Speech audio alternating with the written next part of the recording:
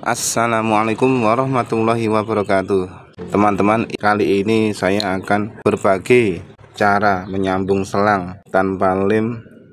Jadi jika teman-teman mengalami masalah seperti ini Mungkin di rumah punya selang yang tidak terlalu panjang Terus bagaimana cara menyambung selang yang pendek dengan selang yang panjang?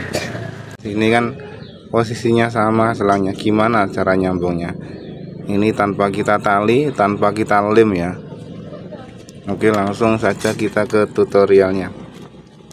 Pertama kita panaskan dulu salah satu selangnya menggunakan api. Ya. kita panaskan dulu salah satu selang. Ujungnya aja ini ya. Menggunakan api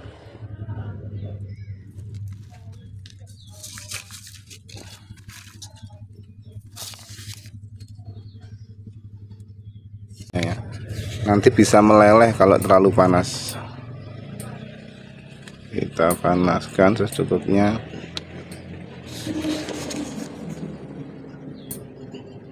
Nah, ya dirasa sudah cukup. Kita masukkan.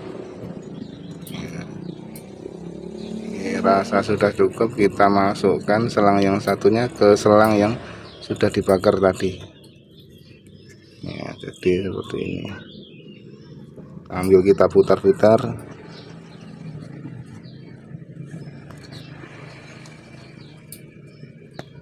Jangan sampai terburu dingin ya. Oke. Oke.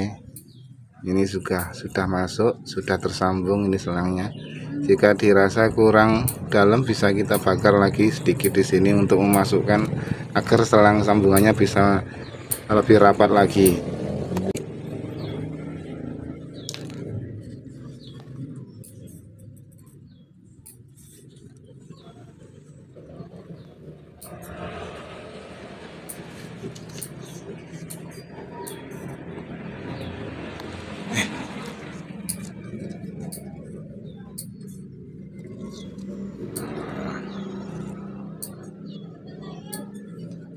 nah jika sudah kita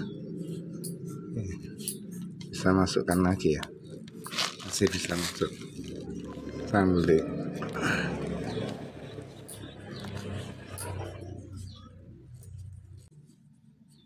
Nah ini ini sudah rapat ya teman-teman. Tanpa lem sudah bisa untuk tersambung selangnya. Oke semoga bermanfaat dan bisa menambah pengetahuan berbagi ilmu. Assalamualaikum warahmatullahi wabarakatuh